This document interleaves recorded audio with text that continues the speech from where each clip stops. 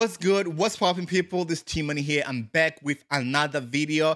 If you don't know what I do on YouTube, I usually do a commentary on Skeem Saam and I do commentary on other shows. But today, I just wanted to talk about what is actually happening in South Africa, especially in the aviation business. The reason why I'm a little bit concerned and I'm touching this subject is um, I did tourism. Okay, I did tourism, and um, I remember the first job I interviewed for after graduating go TUT. Uh, few years back. It was a flight attendant job. Go comment, okay? I took a taxi from Bosman to Kempton Park.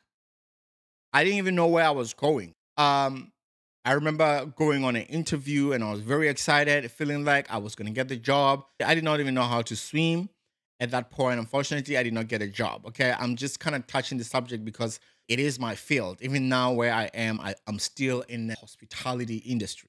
So it's really, really sad what is happening with the Comair SA. As right now, I was just reading the article that they are running out of business. And this is not just because it's their choice. They are unable to, according to the article I read, it looks like they are unable to cover the operation expenses. And they are involved in so many legal issues, two planes crashing um, a few years ago. And then they had already you know, it, it, looks like it's a lot that is going on, and I never thought that the big company like Comair can go out of business for uh, for a large uh, scale company to go out of the business like that. It's said we've seen South African Airways. South African Airways used to run flights directly from Joburg to JFK, and then all of a sudden it's so hard for people to, to fly from from from JFK, you know, New York to to South Africa because South Africa Airways is no longer there. They do a flight share with United Airlines. South African Airways was one of the top top um, airlines that uh, you know that were really really good. After I mean, and the Emirates too.